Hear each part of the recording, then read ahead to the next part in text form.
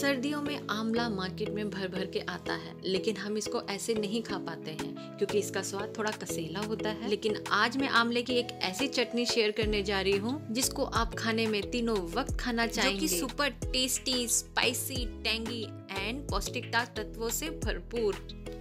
आंवला हमारे हेयर्स आई स्किन के लिए बहुत अच्छा hi everyone welcome back to my channel friends video start करने से पहले आप सभी से एक छोटी सी रिक्वेस्ट है। अगर आपको मेरे वीडियोस अच्छे लगते हैं तो प्लीज़ वीडियो को लाइक एंड चैनल को अभी तक सब्सक्राइब नहीं किया है तो प्लीज़ कर लीजिएगा ताकि आप मेरे और वीडियोज़ देख सकें। तो चलिए अब हम अपना वीडियो स्टार्ट करते हैं। यहाँ मैंने पाँच सात आंवला ले ली हैं और उनको धो के कट कर लिए हैं कुछ इस तरीके से। और अब मैं गैस पर नॉन स्टिक तवा रखूँगी, गैस ऑन नहीं करना है।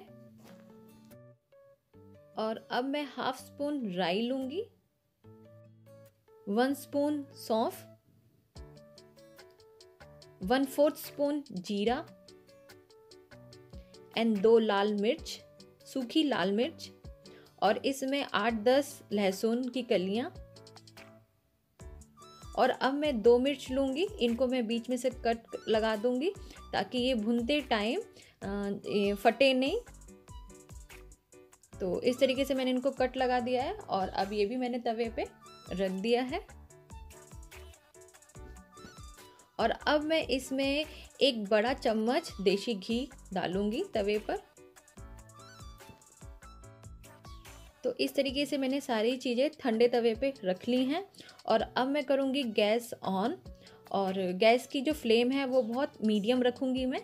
एकदम सिम पर इसे तवे को रखूँगी गैस पर और ये जो सारी चीज़ें हैं इन्हें हल्का हल्का भूनूँगी। देखिए घी मेल्ट होने लग गया है और ये सब भुन रहा है।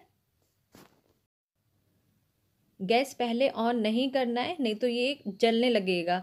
और हमें ये माइल्ड ही भूनना है। तो अब खुशबू आनी शुरू हो गई है कि हमारी चीज़ें भुन गई हैं। तो इस तरीके से मैं हल्के, हल्का भून रही हूँ इन्हें। ये देखिए, बहुत अच्छी खुशबू आ रही है इस टाइम सारी चीज़ भूनने की। फ्रेंड्स, ऐसे अगर आप चटनी बनाएँगे तो आप चटनी बार बार बनाना पसंद करेंगे और इससे, इस चटनी को बच्चे भी आराम से खा सकते हैं। और अब ये सब भुन गया है। अब मैंने जो आंवले के पीस कट किए थे, वो मैं इस तवे पे रख दूँगी। और अब हम इन चीज़ों को अच्छे से मिला लेंगे, ताकि सारा मसाला इसमें अच्छे से मिल जाए, जो भी खड़ा मसाला है ये। फ्रेंड्स इसमें आप एक चम्मच खड़ा धनिया भी डाल सकते हैं। मेरे पास धनिया नहीं था तो मैं नहीं डाल पाई। तो इस तरीके से मैंने आंवले को इन सब के साथ थोड़ा सा रोस्ट किया है, ताकि आंवले का पानी थोड़ा सा जल जाए, सूख जाए। और अब मैं इसमें डालूँगी थोड़ा सा सॉल्ट नमक आपके टेस्ट के अकॉर्डिंग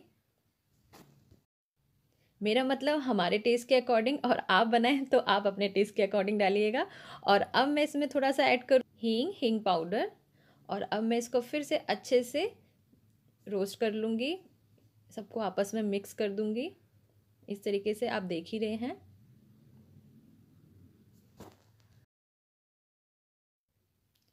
और अब इसे हम किसी ढक्कन से ढाँक देंगे ताकि ये थोड़ा स्टीम से जो आंवला है वो गल जाए। हमें पूरा आंवला नहीं गलाना है।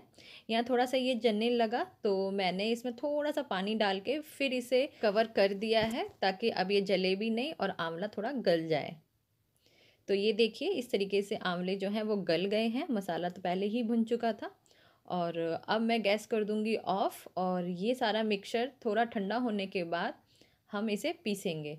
तो ये मैंने मिक्सर में अपने डाल दिया है और इसको सारा पलट लेंगे। आप ठंडा होने के बाद ही इस चटनी को पीसीएगा। फ्रेंड्स, इस तरीके से अगर आप चटनी बनाएँगे ना तो आपको सच में खाने में बहुत मज़ा आएगा।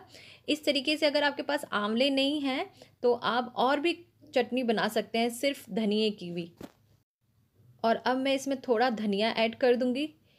एक डेढ़ प्याज के मैंने स्लाइस पीसीस कर लिए हैं, इसको भी मिक्स कर दूँगी। ये भूनना नहीं है हमें। ये ऊपर से डालना है एंड इसको मैं कवर करके अब मैं करती हूँ। Mixie on